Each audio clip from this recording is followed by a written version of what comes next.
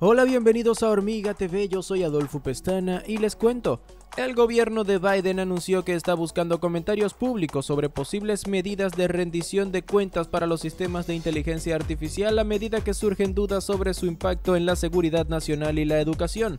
ChatGPT ha atraído la atención de los legisladores estadounidenses ya que se ha convertido en la aplicación de consumo de más rápido crecimiento en la historia, con más de 100 millones de usuarios activos mensuales.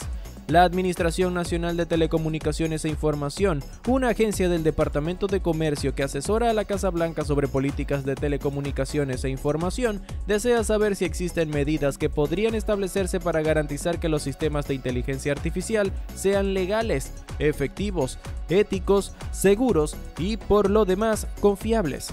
Los sistemas de inteligencia artificial responsables podrían traer enormes beneficios, pero solo si abordamos sus posibles consecuencias y daños. Para que estos sistemas alcancen su máximo potencial, las empresas y los consumidores deben poder confiar en ellos, expresó el administrador de la agencia Alan Davidson. El presidente Joe Biden dijo la semana pasada que quedaba por ver si la inteligencia artificial es peligrosa. Las empresas de tecnología tienen la responsabilidad, en mi opinión, de asegurarse de que sus productos sean seguros antes de hacerlos públicos, comentó el mandatario. Con la redacción de Arminda Rincón yo me despido hasta la próxima. Tú mientras tanto ve abajo, comenta, dale me gusta, suscríbete y activa las notificaciones para que disfrutes de mucho más contenido como este acá en Hormiga TV.